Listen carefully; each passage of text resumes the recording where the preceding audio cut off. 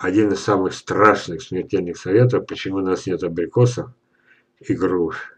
Прежде всего, вот, это же не я, это же вы, это, я же не говорю, что именно вы, это ваши братья, сестры, вы же до сих пор ничего не поняли, если до сих пор эти э, деревья улучшаете с помощью пилы, а, гражданка Канчина.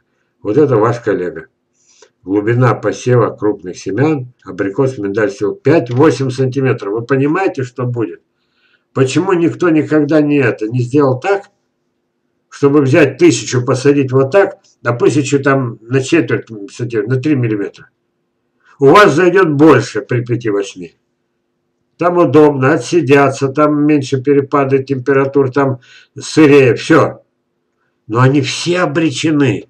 Единственное, что почему ваши коллеги этого не замечают, что, как правило, из школок их переносят на постоянное место, спасая их уже хотя бы тем, что они с глубины, что перестает гнить вот эта часть, которая под этим, под, э, под, под уровнем почвы окажется.